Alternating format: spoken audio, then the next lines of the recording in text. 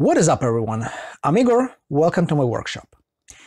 In the previous video, I have demonstrated how to bypass the filament runout sensor and tighten up the belts on Artillery Sidewinder X1 3D printer, and what effect it has on print quality.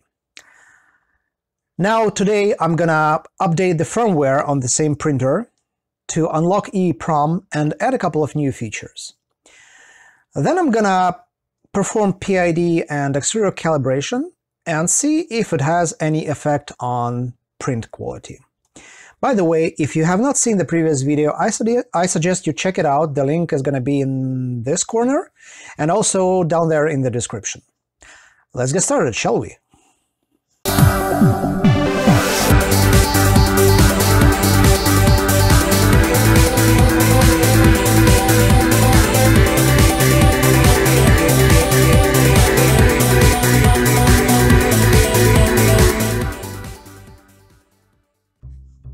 Let's begin with the simplest part of this exercise, which is updating the TFT firmware.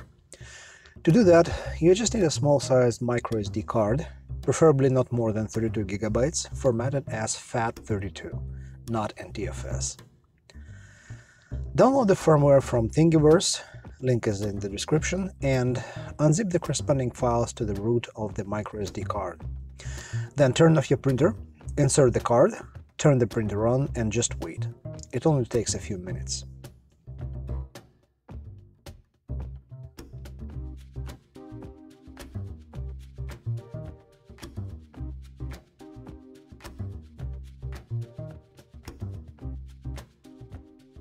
For the mainboard update, you need to open the printer.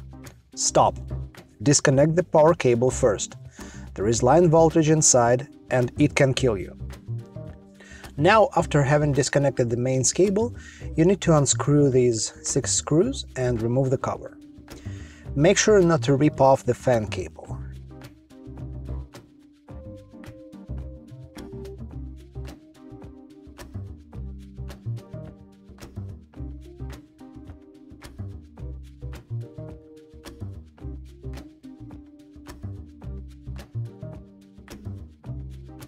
Carefully disconnected from the control board and now the cover can be removed.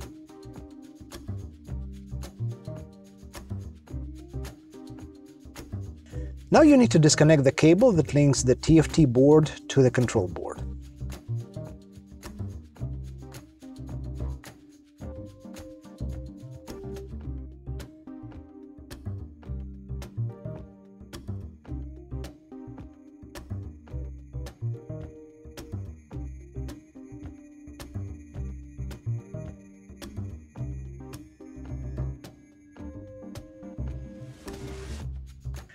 And I give up. At least in my machine, both ends of the cable are completely covered with huge globs of hot snot inside and outside. I cannot remove it all, and um, I'm afraid to rip off the wires or connectors from the board. It may be good to ensure nothing gets disconnected during transport, but in my case they went way over the top with the glue. Time for the plan B. Plan B is more complicated but less invasive. And for that, you, you will need a computer running Linux. I'm using Ubuntu running from a live USB. Instructions for this method are in the link down in the description, but basically you run a flashing tool from the command line in a loop and connect the printer while it's running so it has a chance to intercept and establish the serial connection before the screen does. It has succeeded from the second attempt for me. Much easier than opening the printer and removing all that hot glue.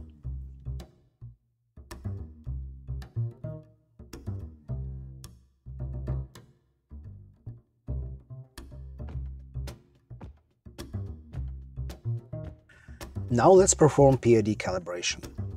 The new TFT firmware has a special button for that. I'll monitor the printer with Octoprint.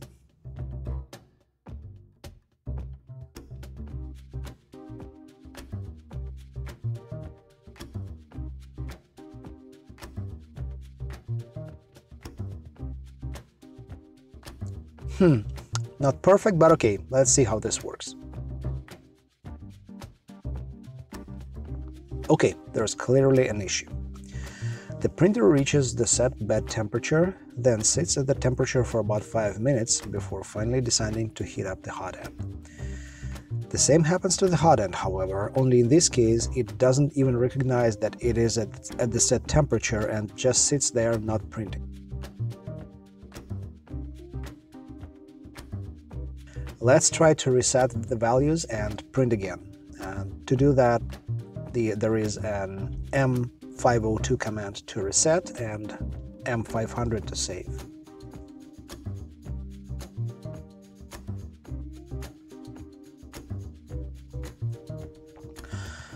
Finally, it's printing. Notice the hot end temperature has overshot again, but at least it's working and the temperatures are relatively stable. I'm not sure what's going on with PID calibration, perhaps I'll have to tune it manually. If you're following these instructions, please give automatic PID calibration a try and let me know in the comments whether you're experiencing these issues or not.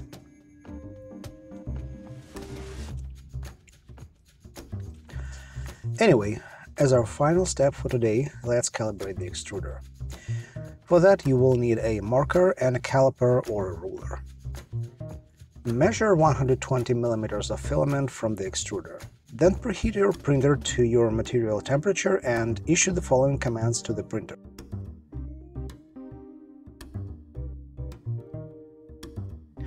M503 to find the set steps per millimeter.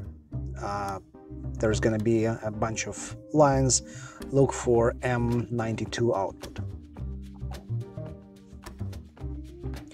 M83 to enable relative mode on the extruder, and then G1, E100, F100. This command will extrude 100 millimeters of plastic over, over the course of a minute.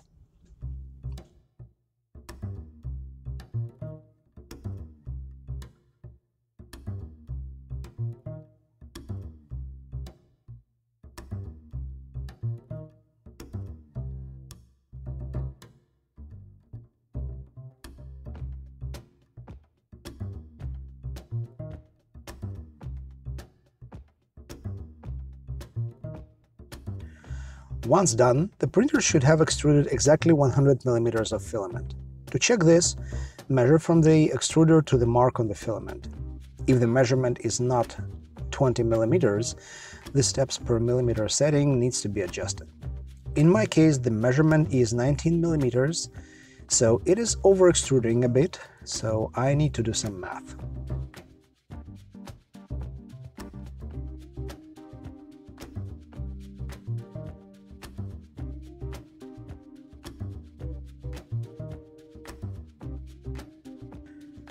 Then you can issue the M92E and then your new steps per millimeter value command to set the new steps per millimeter value and then M500 to save values. Now let's print our test model and compare quality.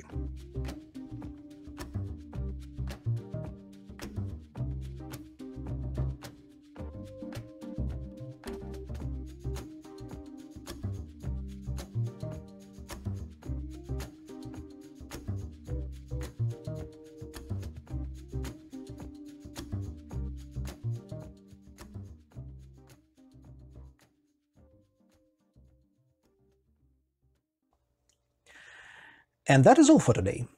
Please let me know if you were able to safely disconnect the TFT cable in your machine. Now as I'm thinking about it, I could have probably used something like a hair dryer to soften up hot glue, but you know, the Linux way worked for me just fine and I'm probably gonna stick to it in the, in the future. The quality, I would say, keeps improving, but we are still not there yet. Also, regarding my issues with PID calibrations and prints not starting, the developer of the firmware, Robscar on Thingiverse, and the link to his profile is going to be in the description, uh, was amazingly responsive, and he has provided me a test firmware to try on my machine. I'll definitely give it a try this weekend and let you guys know how it goes.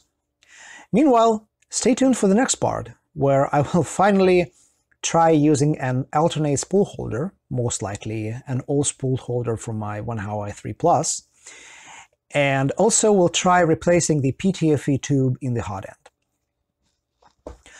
I hope you liked this video and you learned something from it.